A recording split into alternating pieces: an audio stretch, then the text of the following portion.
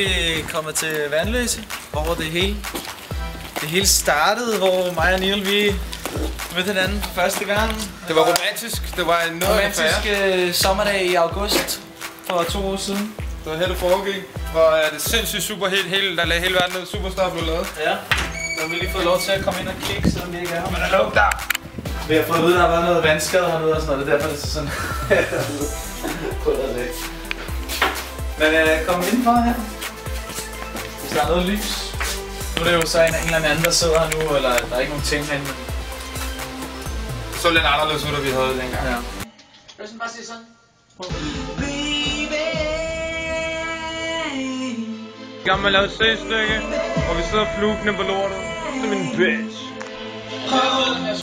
Uh, jeg lytter meget til, som jeg var inde på lidt tidligere, sådan noget Dream Games. Uh, stille og rolig trance, eller hvad man skal sige. Så man kan sidde og chille til at vibe til, når man sidder i, i en bil eller et eller andet. Ellers så lytter jeg til meget, meget pop. Øhm, meget in dubs for eksempel. Man kan sige rapmusik, som ikke er almindelig rapmusik. Og så blandet med noget catchy pop indover, det, det er det fedeste.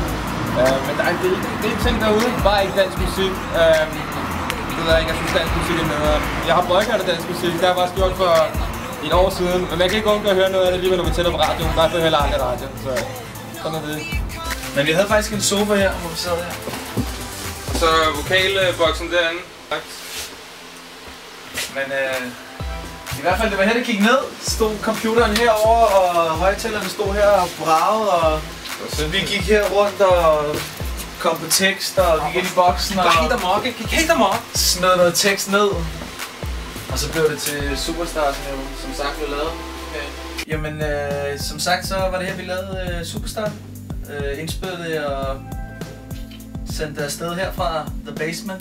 Det var her, vi lavede noget af det. Øh, I hvert fald den første version, øh, fordi at vi skulle øh, optræde ind til noget øh, Neo, øh, sammen med en, der hedder øh, Rani. Så tænkte vi, at vi skulle lave et nummer, fordi det var ikke nok med kun Superstar. Og så lavede vi, lavede vi det track med ham. Men det er jo så en ny version, der kommer nu. Det er en helt ny version, sprit ny version, hvor Rani ikke er med på. Det er ikke fordi vi er nogen haters eller noget, det er bare et pulsnummer, så derfor Ja, præcis. med Og så er det bare, ja, fucking fedt, og så beholder vi det, og så smider vi det ud. Så vi lige gjort det lidt radiovenligt, ikke? Ja, ja, vi har lige shiner det lidt op og, det og gjort det puls, ikke? Og 100% så er det puls. den nyeste version noget af det, der kommer snart ud, og det bliver fresh. Ey, hun vil ikke noget ved det. Den kunne du godt være med på, så jeg ikke lignede den der. Jamen, øh, jeg har faktisk øh, død periode lige nu, tror jeg. så jeg, jeg ved ikke hvad. Jeg, jeg prøver, jeg henter mange, mange mærkelige ting. Der er ikke sådan lige... Selvfølgelig har jeg meget puls. Øh, den sag, en, en sang, der hedder Noget af det med puls. Den er for vild. Den tror jeg, den kommer til at hit. Øhm, øh, så, så, er jeg, så kan jeg altid godt lide Chris Brown, Eminem og sådan noget, men der har jeg ikke hørt så meget. Det er ikke noget, jeg hører så meget mere. Det, øh, de har spillet lidt jo, ikke? Altså, men er klart, vi er ikke blevet bumpet i radioen, og det er pisse irriterende, fordi de er nogle tabere, åbenbart. øh, især når man hører alle de andre aber, de spiller i Ja, radioen. der er noget, der, er, altså, der er virkelig noget, hvor man godt kan tænke, det gør ondt. Altså, Ja.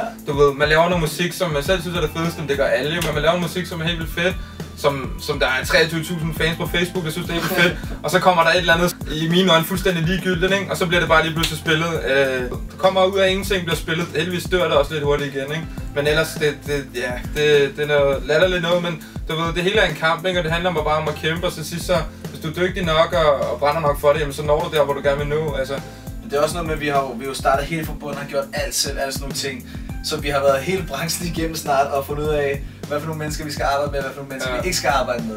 Og nu føler vi, nu har vi et stærkt team øh, i ryggen, et rigtig stærkt team i ryggen faktisk.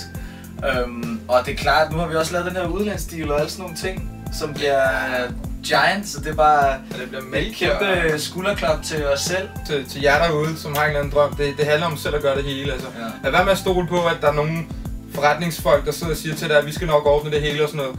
Lidt nostalgi, lidt gamle dage. Det er jo Ja. ikke gamle dage, det var bare lidt... Åh, oh, Og man får lidt følelser frem igen, når man går her faktisk. Det er sjovt. at se det her. Det er rigtig sjovt at se. Men øh, lad os tage op og se øh, det nye sted, hvor vi sidder nu. Fordi at øh, nu er vi her. Yeah! Er vi go. Det er så her, vi sidder i dag. Vores øh, nye studie. Velkommen ind. Ja, vi er 100% enig, hvad det angår. Ja, jo. Eller hvad? Ja, det gør de der, hvis du går. Ja. Det kan det godt være. Jo, vi er også, hvis du går. Vi har lavet et nummer, der hedder Hvis du går, som vi, vi venter lidt med at sende ud, fordi det skal først komme ud, når tiden er rigtig. Ja. Og når det kommer, det kommer til, det, Ej, er, jeg vil, jeg vil. det, det kommer til at dræbe. Hvis du kan høre det nummer uden at få gåsehud, altså, så er det bare så du inhuman. Men det er også et, et dybt nummer. Jeg tror, det, altså, det er ikke stille nummer. Ja. Det er, et, et dybt stille nummer. Det viser bare lidt, at, og det også det, jeg glæder mig rigtig meget til at få nye ting ud. Også fordi så viser vi, at vi, vi laver ikke kun den ene genre der. Altså vi kan lave lidt af det hele. Og det, og det tror jeg, det, det bliver rigtig fedt at komme ud og, og, og, og folk de kan få et indtryk af, sådan et helhedsindtryk af ting. Fuck, de kan virkelig, de mestrer virkelig det hele, i stedet for det kun er klubnummer for eksempel. Øhm, men ja, hvis du går over helt sikkert også en af mine faves. Og der er lige en sidste ting, vi slutter af. Den her lille mini-dokumentar, jeg vil sige.